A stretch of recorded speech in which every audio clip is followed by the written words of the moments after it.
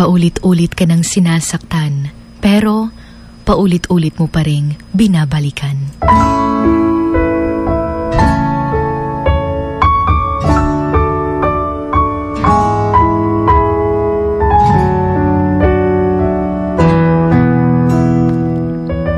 Ganyan talaga siguro kapag nagmahal.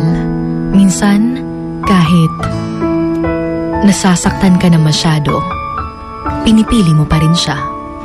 Kahit na alam mong masasaktan ka pa rin, pinipili mo pa rin siya. Kadalasan kasi, ginagawa ito ng iba para wala silang pagsisisihan sa huli. Na if ever man na hindi talaga kayo yung endgame, at least, ginawa mo naman lahat-lahat para manalo at piliin. Kaya para sa iba, kahit na paulit-ulit man silang sinasaktan, paulit-ulit pa rin din nilang binabalikan. Dahil yung taong lang yun yung nagparamdam sa kanya ng pagmamahal.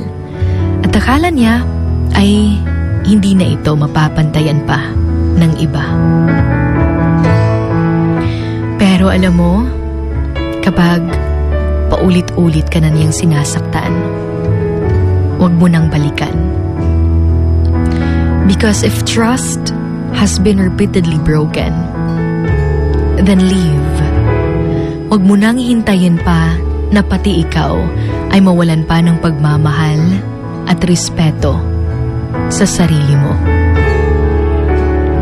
Also, you ask yourself ng ilang beses if mas nagiging lamang na ba yung lungkot kaysa sa saya, if mas lamang na ba yung sakit kaysa sa gugma.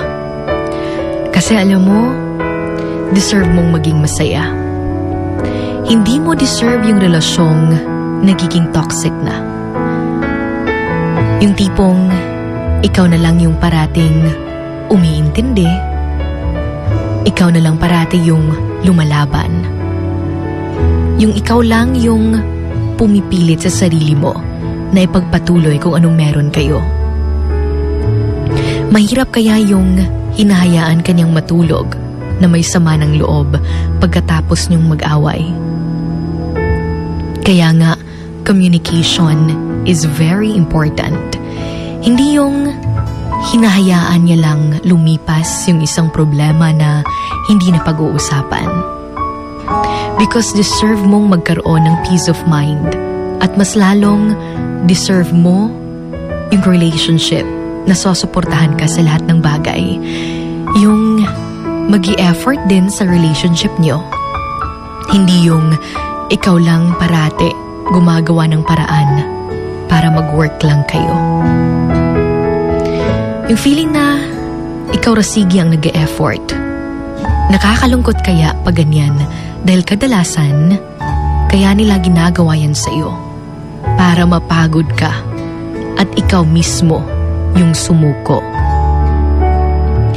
Kaya when you are in a relationship, wag na wag mo nga hayaang mawala yung connection nyo. Mahirap kasi pag you are emotionally and physically abandoned. Higit sa lahat, huwag na huwag mong hahayaang pagbuhatan ka ng kamay ng taong mahal mo. Huwag na huwag mong hahayaan ang kahit na sino nasaktan ka lang. Huwag mong sayangin yung oras mo kakahabol at kakabalik sa taong hindi ka mahal. Dahil sinasayang mo rin ang pagkakataon na makilala mo yung taong para talaga sa'yo.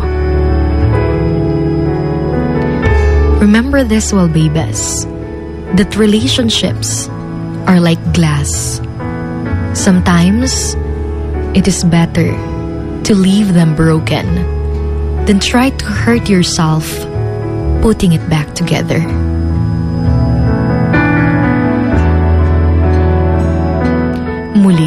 Ito po ang inyong hugot babe, Sugar Dolly.